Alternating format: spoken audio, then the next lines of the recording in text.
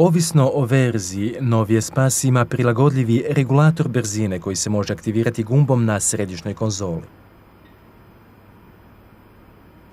Uključuje se zeleno kontrolno svjetlo i prikazuje se poruka Cruise Control, regulator brzine, na instrumentnoj ploči kako bi se pokazalo da funkcija radi.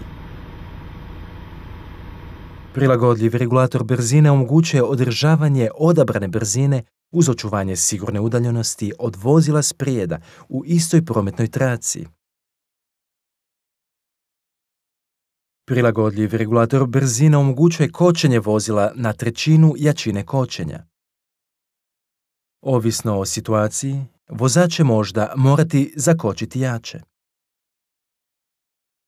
Možete mijenjati putnu brzinu pomoću komandi za podešavanje na kolu upravljača.